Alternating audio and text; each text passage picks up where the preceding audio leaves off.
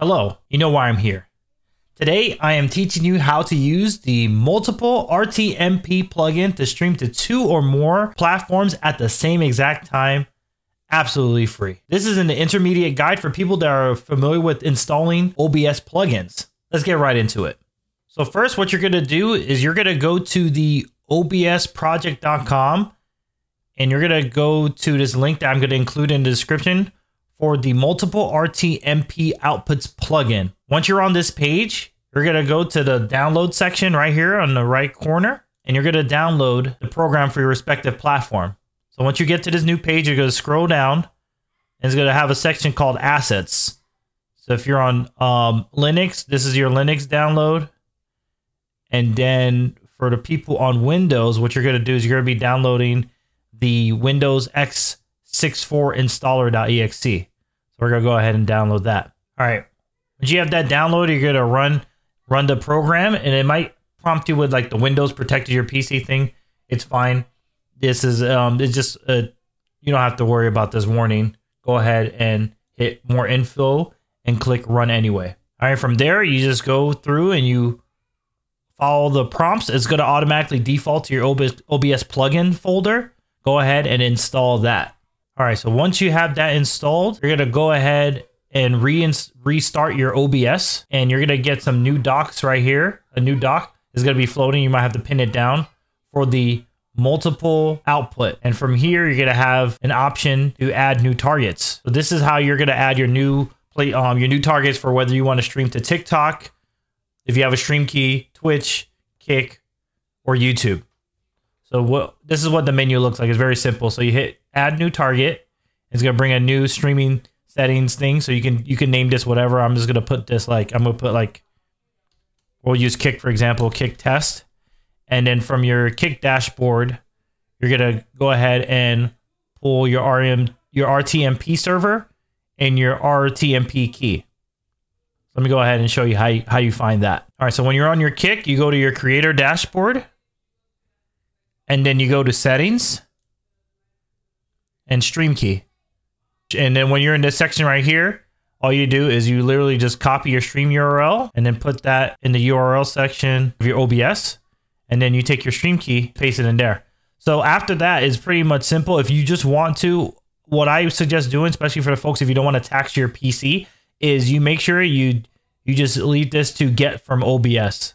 That way, it just uses whatever settings you're using for your primary stream, and it just it just duplicates that so that it doesn't add any additional load.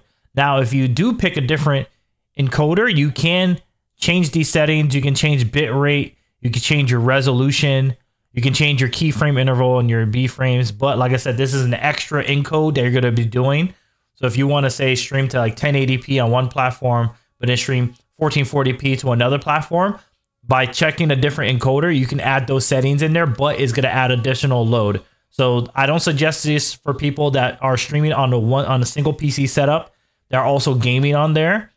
It might it might cause your P, your game to have performance issues. But if you're on a dual PC setup, you might have enough head headroom to be able to do that. But like I said, for most people that is watching this guide, definitely make sure you pick get from OBS so that you can just add that. So literally just name it what you want it. So kick, YouTube, or whatever. Put your server, put your key, lead this to get from OBS, and all you have to do is hit OK.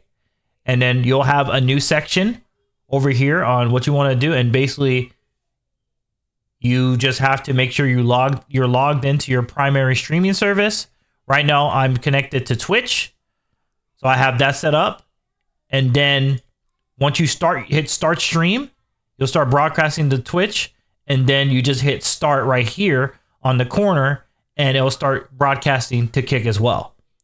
And then from there you can you know open up your chat windows and you can monitor everything. Tiktok same thing. If you have stream key put your url and uh, your stream key. But the people that have stream keys on tiktok reminder for this every single time you start your stream your stream key is different. You get a new stream key every time you start a stream. So before you stream to tiktok go to your dashboard. So you go to go live.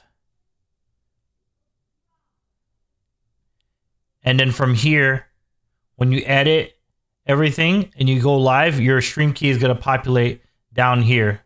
And you hit copy and you place that in there. And then you're good to go. And that's basically it.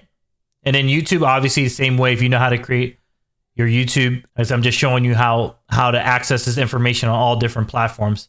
So YouTube, you go to your live your live studio or YouTube studio.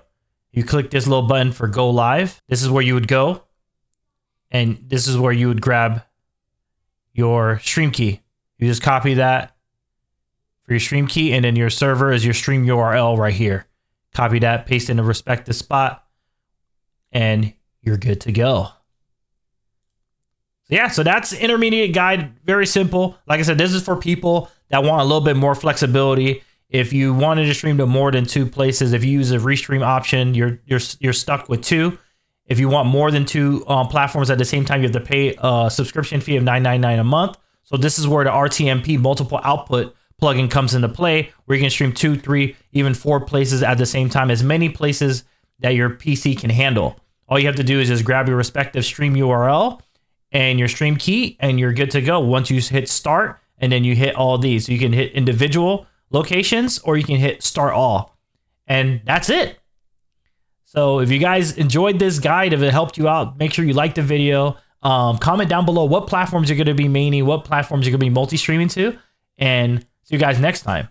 And then for a bonus, you guys might be wondering when I stream to all these multiple platforms, how do you manage all those different chat windows? I'm going to be doing that. I'll be covering that in my next video. Till next time. Peace.